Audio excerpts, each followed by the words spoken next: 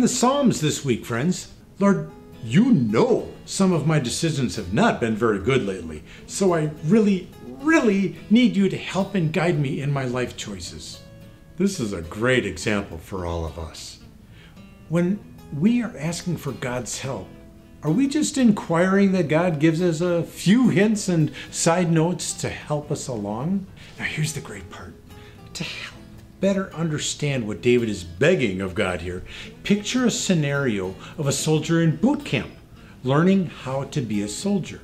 Maybe some of you out there remember the sins of your youth, or maybe even from last week.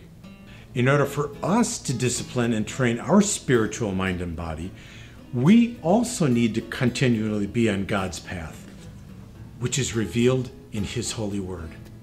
And maybe you think that God might not love you or even want to be with you because of those sins.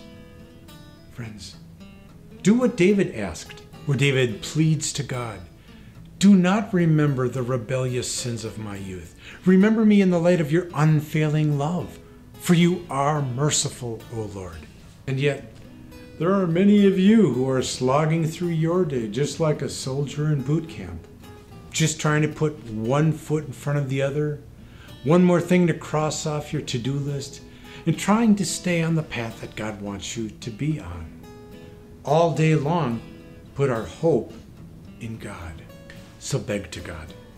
Lead me by your truth and teach me, for you are the God who saves me.